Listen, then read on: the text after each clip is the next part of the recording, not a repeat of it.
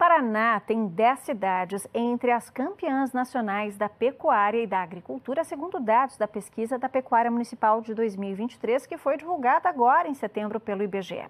Os dois principais destaques são Toledo e Castro. O Oeste Paranaense lidera a produção nacional de suínos e os Campos Gerais a produção nacional de leite. E é sobre estes números que eu converso agora aqui no estúdio com o secretário estadual da Agricultura e do Abastecimento, Natalino Avance de Souza. Seja muito bem-vindo, secretário secretário. Muito obrigado pela oportunidade da gente conversar sobre a agricultura do estado do Paraná.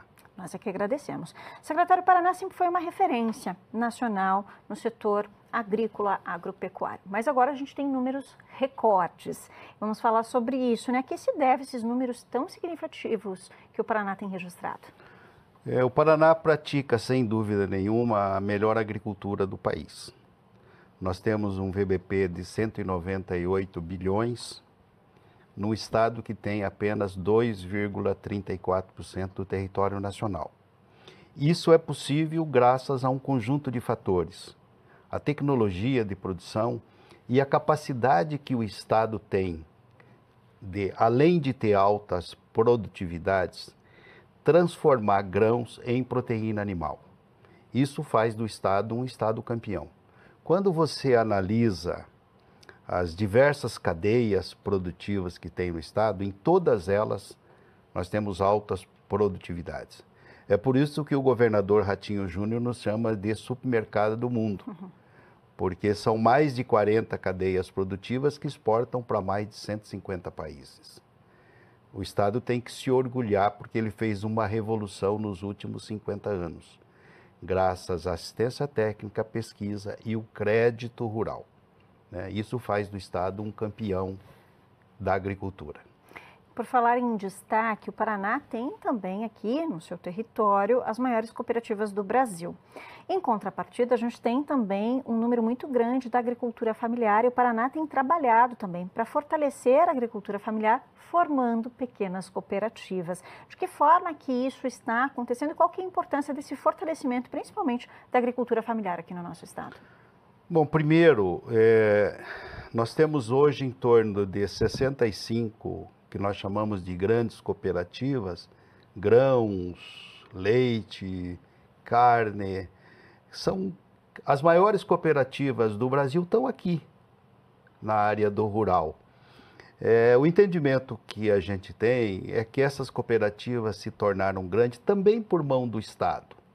Se você pensar ali na década de 70, 80, o Estado tinha uma política de contratar pessoas por dentro das instituições da agricultura e colocar à disposição. Então, se você pegar hoje, por exemplo, a maior cooperativa nossa é a Coamo. O presidente da Coamo, Haroldo Galassini, foi servidor da Carpa. O Irineu da Lar foi servidor da Carpa. O Pitol, da Copacol foi servidor da Carpa. Então era uma política do Estado de apoiar.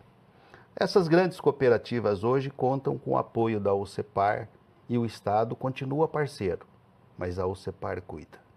Ao lado disso, você tem um outro universo, em torno de 189 cooperativas da agricultura familiar, que fazem um papel importantíssimo de aproximar os agricultores do processo de comercialização.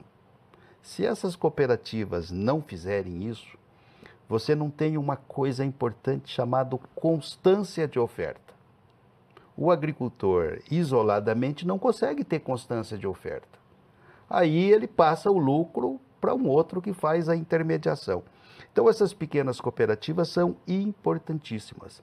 E o governo do estado, através da Secretaria da Agricultura, tem um programa chamado Coopera Paraná, que visa exatamente apoiar essas pequenas cooperativas para que tenham visão de negócio, desenvolvimento gerencial, assistência técnica e capacidade de investimento, para que elas possam processar produtos, para que elas possam ter condições de chegar com esse produto no mercado. Eu digo que é um um programa exitoso, talvez hoje o melhor programa de apoio à agricultura familiar que a gente tem no Brasil. Ele está sendo copiado por outros estados da federação. E a gente tem é, um detalhe importante que o senhor citou, que é o fortalecimento também do acesso ao crédito. A gente tem aqui no Estado banco voltado né, ao agricultor e com essas linhas de crédito ele pode investir em outros setores que são importantes. A gente tem passado por mudanças climáticas. A seca é uma preocupação aqui no estado do Paraná e a gente tem dois programas, né? O que pode pegar o crédito e o que pode investir em irrigação. E eu queria que o senhor falasse da importância né, dessa união também de esforços do acesso ao crédito e do investimento na irrigação é importante, determinante, principalmente nesse momento que a gente tem vivido?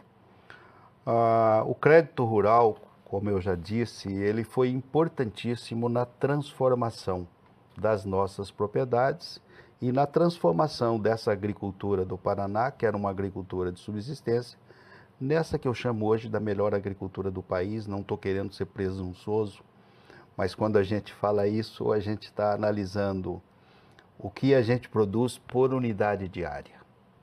Nós somos um estado que tem 14,4 milhões de hectares, menos da metade do que tem em Minas Gerais, é, um quarto do que tem o Mato Grosso, que são estados que têm grande amplitude diária. O Paraná não tem.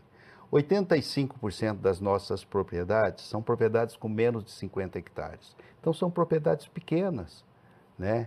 E, e que fizeram essa revolução e um dos mecanismos que o Estado tem, que é uma política pública que a gente chama de Banco do Agricultor, que é onde a gente ancora a possibilidade de estimular práticas agrícolas, de estimular é, adoção de tecnologia, de estimular adoção de inovações através da redução de juros, é, juros zero, é, a possibilidade dele acessar um crédito que normalmente ele não faz. Então, o Banco do Agricultor é um conjunto de políticas públicas em cima de algumas atividades que estão ligadas especificamente à agricultura familiar.